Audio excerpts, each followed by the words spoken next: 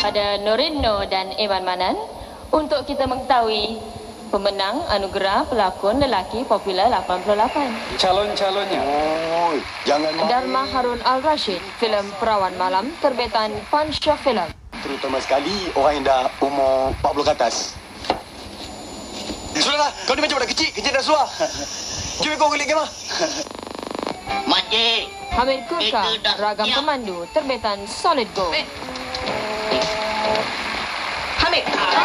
Ina. Sabri Fazil, filem Antara Dua Hati terbitan RJ Film. Ha, betul. Yang penting adalah perasaan kau dan perasaanku.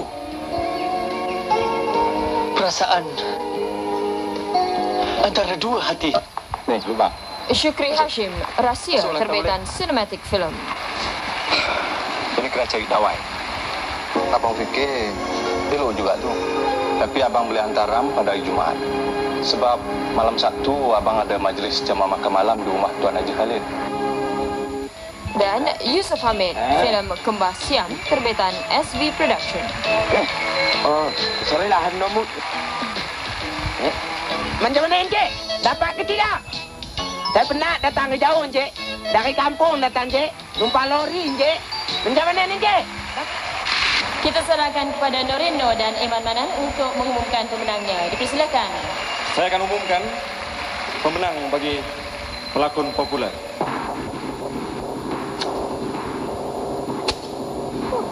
Kuat. Kau.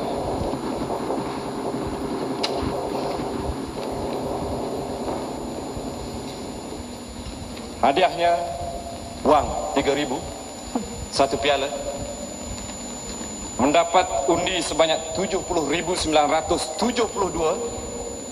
pemenangnya Sabri Fadil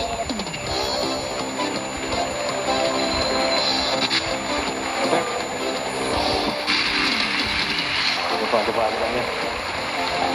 Di sini saya ambil, mengambil kesempatan ini untuk mengucapkan ribuan terima kasih saya kepada Berita Harian sebagai penganjur dan penaja Nescafe Klasik.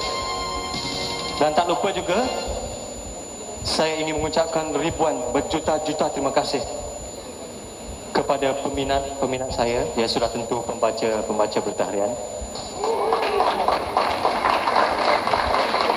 Kerana mereka lah yang memilih saya sebagai pelakon lelaki popular untuk tahun ini. Terima kasih semua.